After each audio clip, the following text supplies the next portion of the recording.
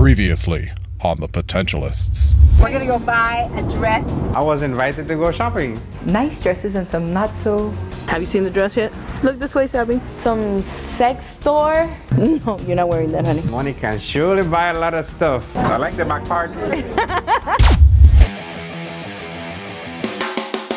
Anyone can entertain you, but only we edutain you. With a mixture of fun, learning, and craziness, my team and I travel the world motivating and connecting with people. Get ready to make it happen. Are you watching my motivational moments? It was honestly Bert's motivational moment that convinced me that I should finally change my name. Motivational moments is where I talk to you one on one for a minute with tools and techniques that you can implement into your life right away. Because he was talking about the core values exercise, how you're supposed to take your last name and come up with core values. I've been divorced for years and I just never bothered to go change my name because I was just too lazy. I thought about my maiden name and I came up with my core values in like five minutes. So I decided to change my name. A person's name is extremely powerful. Now think about this. Would Oprah be Oprah if her name was Smith? it would be different. So names are really powerful. Perfect time to practice patience, right? I mean, we've got to go to the Social Security Administration, the DMV, the tag agency. It's going to take forever.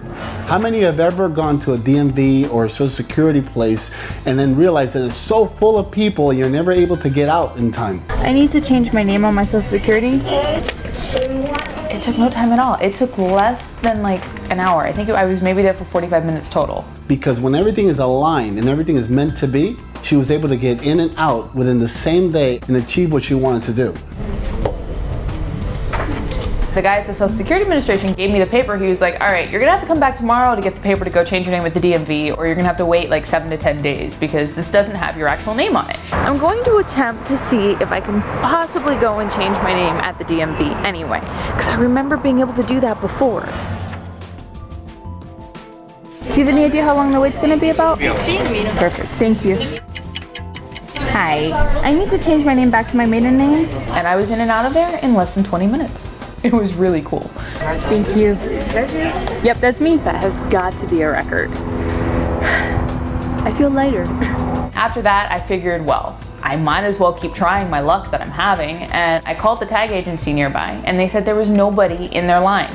When on earth is there nobody in a line at a tag agency? Never.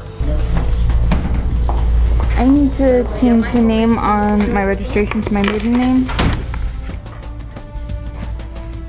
Everything is looking my way today. Tag agency done in less than five minutes. The other really official thing that you got to deal with when you go to change your name is your passport, especially if you travel, which we travel all the time with BOWA World. I went to um, a CVS because they take passport pictures. So I asked the guy if he could take my photo and you know just get it done really fast, and he was like, "Sure, no problem." So he walks out from behind the counter holding this camera that's this old, ridiculous camera that I think I had when I was like 14. What, like a four megapixel camera? Which was awesome when you were 14, but yeah. He pulled down this backdrop and just stood me there and took like one photo really, really fast. He took the SD card out of it and stuck it in the self-serve digital kiosk thing. I could have done it all myself and probably gotten a better photo out of it.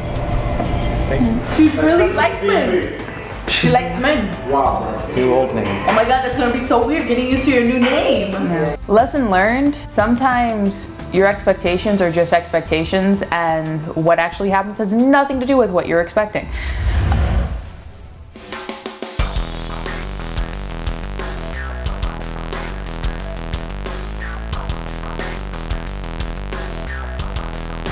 Hey yo, how you doing? Check this out, it's Serge from BOWA World. You better like us.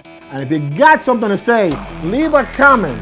And check this out, if you really got the guts, subscribe so I can get back to you so we can make it happen with BOWA World. Feel me?